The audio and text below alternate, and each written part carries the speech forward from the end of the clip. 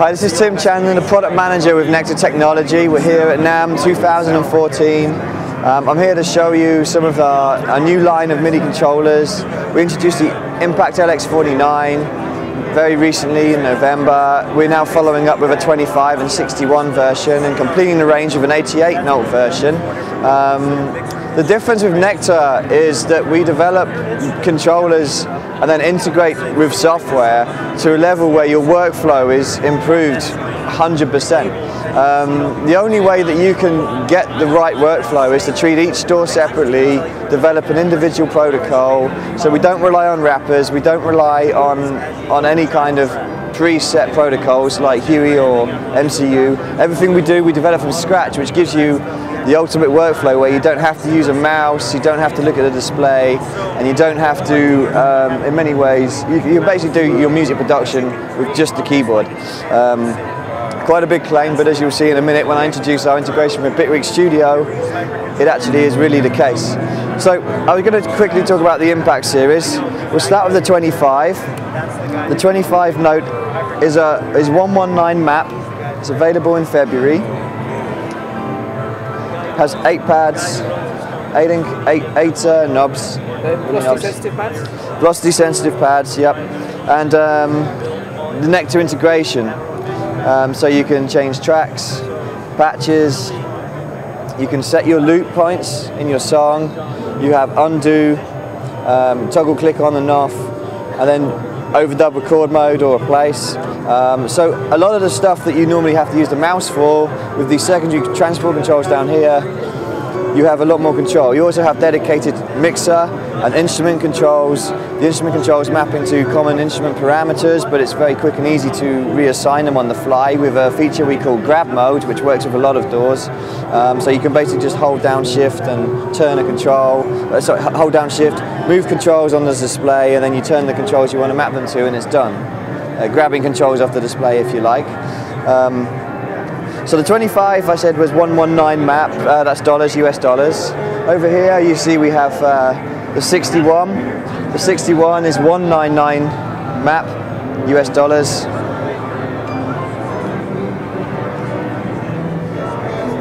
And the 49, the 49 key is, um, this is 159 map.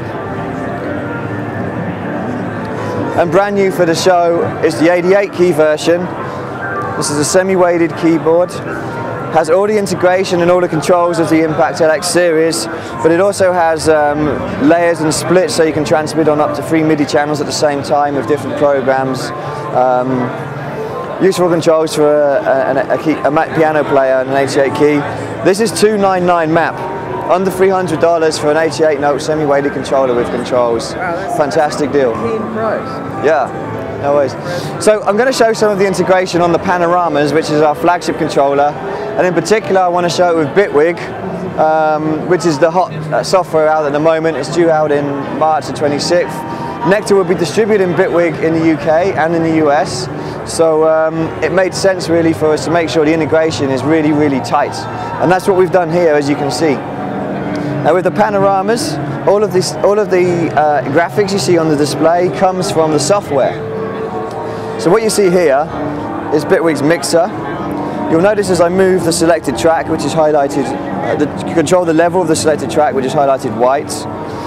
Motorized fader also moves. Now the motorized fader is 100 millimeter Alps fader. It's what you will find on a, on a you know high-end mixing desk. Uh, it sends high-resolution MIDI, so not just the seven bits of MIDI. It sends high-resolution data, and it's touch sensitive, so it's great for doing automation.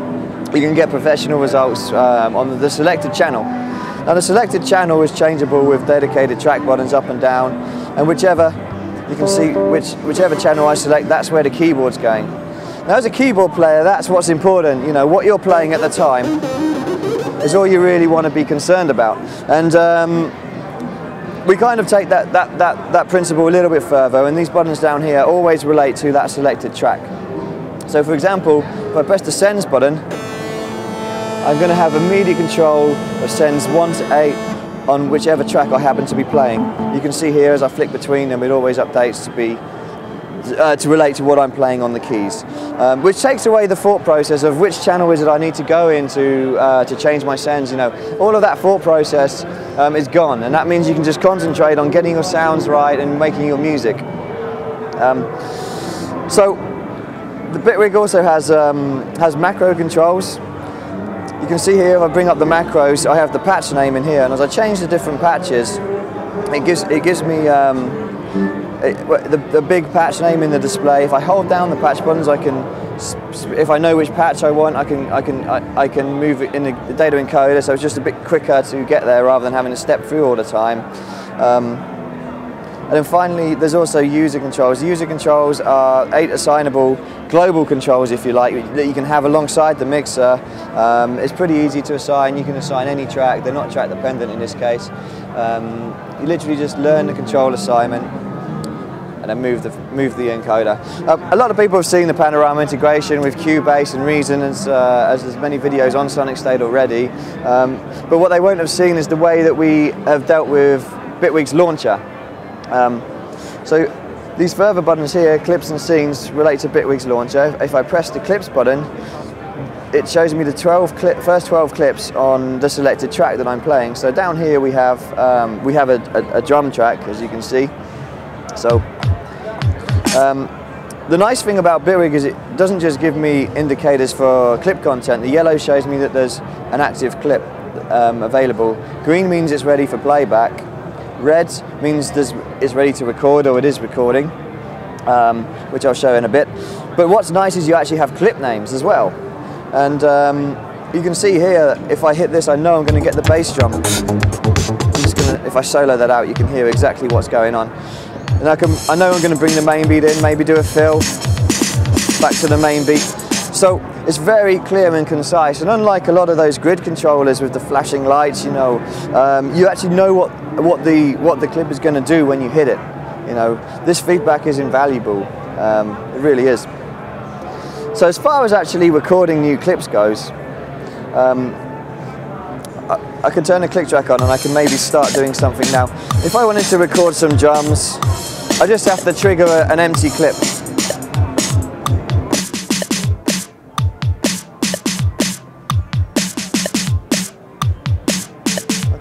So it's really quick and easy to build up a few different styles, different beats. Um, but again, sometimes if you're recording immediately like that, sometimes you, you kind of like in the heat of the moment, you forget what you were going to do, and then maybe you've missed a bar. Um, and although Bitwig has um, loop quantization, so that it, it always comes in with a bar and stays on the beat, um, you can end up with like a bar of silence sometimes at the start of your clip, which means then you then have to go in and edit it in the software.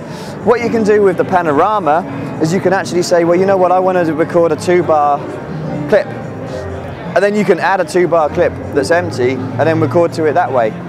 So for example, I'm just going to do that now. I'm going to put a two bar clip onto um, clip 9 on my track for drums.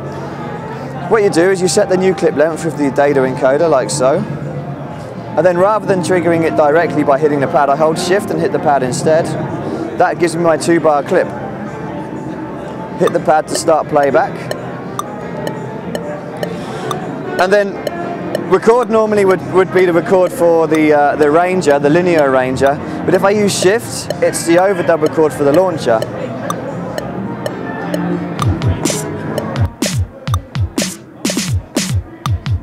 And I've got a definite two bar loop going on, and I had time to think about what I was doing. Of course, you notice at the moment I've been triggering uh, drum samples with the keys. It's quite easy to, uh, to do it with the pads if you prefer that. You just press the pads button, that takes it out of clip mode,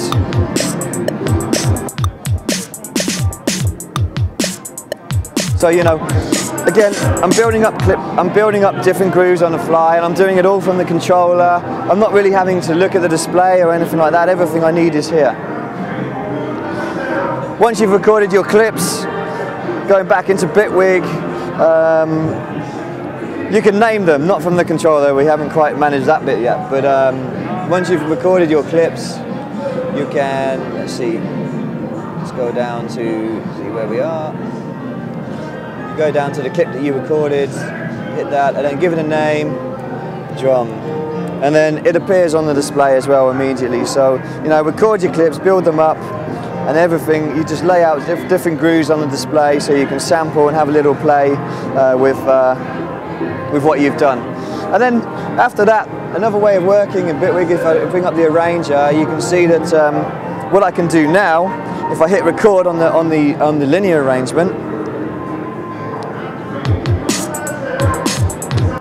it's recording my, uh, my performance, my playback on the clips in a linear fashion. So it's like you can audition stuff in, uh, in the clip, in, the, in using your clips here, and then record a performance back in, in, as a linear performance as well. Which I don't know about you, but for me, I've got so many four bar loops uh, in, in different linear DAWs because half the time I get, I get bored and I can't be bothered to do the next part and the next part. But this way, you know, you, you, can use clips, you can do loops of different lengths as well, and then you can audition how those loops might go together and then put them into a linear recording. So there's lots and lots of, um, uh, I mean, it's a, it's a great workflow. It's uh, with, with the clip triggering, and you can see that with a panorama kind of brings that to life and makes it very clear about what's going on. Um, instruments in Bitwig, um, in instrument mode, you, you basically control the devices within the selected track. If I go to a uh, something with a polysynth, for example, let's go to something with, uh, let's try and get a patch going on. So, oh, you know what I did? I put it on solo, didn't I? So let me, uh, let me just turn, turn that solo off. There we go. Um, so here we have, uh, we have a, we have a, um, a patch very clear patch name and if, if I change the patch again, scroll through, so the, the controls map to um, eight common controls on my on, on the Bitwig synth. Um, if I press the page button, you can see I have useful menus to get to specific pages of controls. I can go to the filters, go to the oscillators, start start tweaking. The changes will all happen in real time. So, you know, this, this makes it great to, to kind of really play and mess around with sounds and come up with some ideas that you probably wouldn't do if you were just using a mouse, you know, because you've got these, all of the controls to hand and you can really just come up with something a little bit unique. Um, all the devices in a chain, if I press the view button, you can see the instrument tray. This is what we're currently recording. But there's lots and lots of, uh, uh, of in this particular instrument track, there's, there's lots and lots of devices. But um, from, you can get to all of them from the panorama by you turning the data encoder. It changes it changes my device and tells me what's going on here, and you can see that all of the different controls are available for the different devices. So I can start playing with some reverb. I can go back. You can turn the devices on and off, so you can audition what it's like with and without your effects. Um, so it's very quick and easy um, to, to, kind of build up like a, a, sound, a particular sound with multiple effects, not just with the synth alone, but with multiple effects at one go. Um, finally, transport mode. In transport mode, you have the um, you have the loop position down here. You have uh, the ability to change the loop position as well. You can see it changing here. This is the song position changing the tempo, it's also possible. Control of pre-roll, um, these are the groove controls in Bitwig, shuffling, turning the groove on and off. Um, there's a step sequencer that we haven't implemented yet, but it will happen by release. um, you just have to trust me on that one. Auto punch on and off, quantize after you're recording, it wasn't quite right, you can quantize, uh, and then turning your automation right on and off with this on, anything you do with these controls on the instrument or on your device is going to be recorded along with the, the clip or, uh, with, or with the, um, the loop that you're recording in the arranger as well. So there's a lot of stuff you can do and uh, Panorama has control of it all. So as you can see, the real difference with Nektar is the integration and the workflow that comes from that integration is second to none. It speeds up your music production.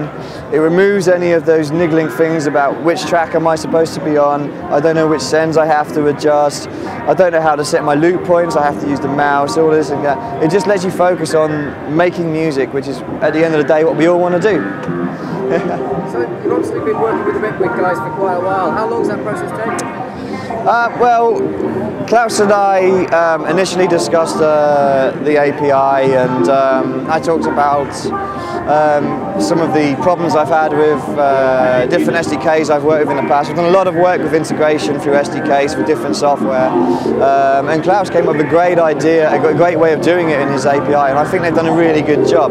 Here and there when we wanted a little bit more um, a little bit more functionality. I've, I've, been able to talk to Klaus and he's very quickly implemented it. Um, in fact, he used the Panorama P4. He's been using it for uh, since since really the API was developed. He was using the P4 as a kind of bench to to build it from because it's got all of the bells and whistles. It's got this display, um, and that's why it's so functional. And um, then I basically I, I, I, took it over and from a Nektar perspective we always prefer to have control over the, the integration ourselves um, just because we can spend that little bit longer than a software company might might want to themselves. We can really focus on detail um, and it's the detail that goes into these products that makes them really stand out from from um, the competition